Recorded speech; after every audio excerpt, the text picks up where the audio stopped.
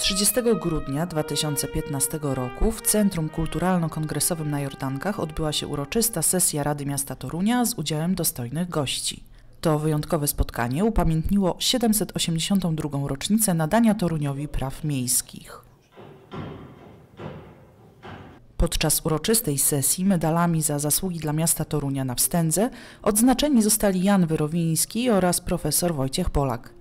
Decyzję o nadaniu działaczom opozycyjnym tych wyróżnień podjęli radni podczas sesji 17 grudnia. Spotkanie było też okazją do podsumowania 2015 roku z toruńskiej perspektywy. Dla Torunian, dla Torunia był to także dobry rok, dlatego że wiele się po prostu w mieście działo.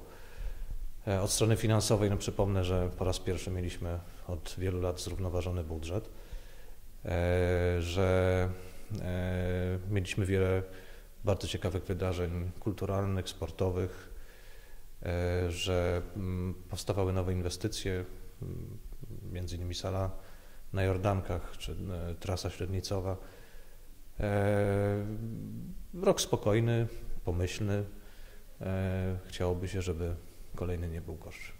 Z radością patrzę na mijający rok. Rok 2015 był bardzo dobry dla naszego miasta. Kilka przykładów oczywiście, a więc to, że Torunianie sami w ocenie dokonywanej co dwa lata w ogólnopolskim badaniu społecznym powiedzieli tak, w Toruniu dobrze się mieszka i ta ocena była trzecią co do wielkości w całej Polsce wśród wszystkich miast polskich. Jesteśmy za Gdynią i Gdańskiem na trzecim miejscu. To najważniejsza ocena, bo ocena własna Torunian. Po drugie, bardzo dobre finanse miasta, budżet wart prawie miliard dwieście milionów i duża nadwyżka budżetowa. Już z satysfakcją mogę poinformować, że będzie ona e, sięgała 90 milionów złotych, mimo że na początku roku zakładaliśmy, że będzie to około 70 milionów złotych i bardzo dobre rankingi czy oceny ratingowe wykonywane przez międzynarodowe firmy zewnętrzne.